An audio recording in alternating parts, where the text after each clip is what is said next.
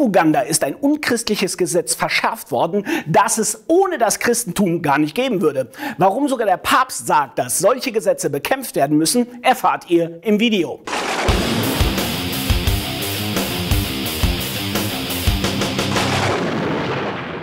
Uganda sind die ohnehin heftigen und menschenrechtsverletzenden Gesetze gegen homosexuelle Menschen verschärft worden. Es würde hier zu lange dauern, alle Rechte aufzuzählen, die homosexuellen Menschen in Uganda schon seit Jahren verweigert werden.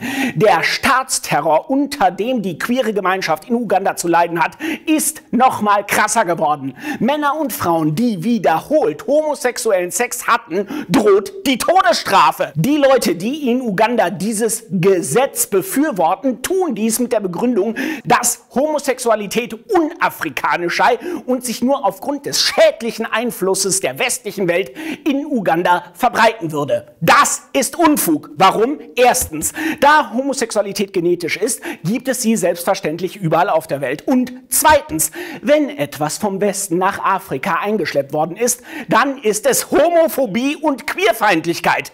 Besonders stark christlich-konservative Kreise in Uganda kämpfen mit allem, was sie haben, gegen queere Menschen. Das Christentum ist aus dem Westen nach Afrika gebracht worden und hat seine queerfeindliche Haltung mit im Gepäck. Ab dem Jahr 1990 wurde dieser Effekt durch evangelikale MissionarInnen nochmal intensiv verstärkt. Deswegen ist es für ChristInnen nicht nur legitim, sich gegen ein solches Gesetz eines anderen Landes auszusprechen, es ist sogar unsere Pflicht. Auch die katholische Kirche hat maßgeblich an der Homophobie in der Welt mitgearbeitet. Es hilft auch nicht, wenn man sagt, wir haben nichts gegen Homosexuelle. Wir verurteilen nur, wenn Homosexualität ausgelebt wird. So ein Satz macht Liebe zur Sünde. So eine Einstellung führt zu menschenverachtenden Gesetzen wie in Uganda und anderen Staaten. Anfang des Jahres war der Papst in der Demokratischen Republik Kongo zu Besuch.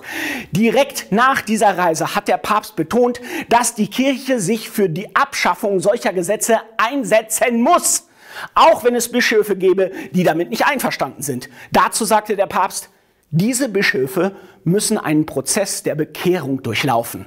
Aber nicht nur die Bischöfe, sondern die gesamte Christenheit sollte sich gegen Diskriminierung und auf die Seite der Liebe stellen.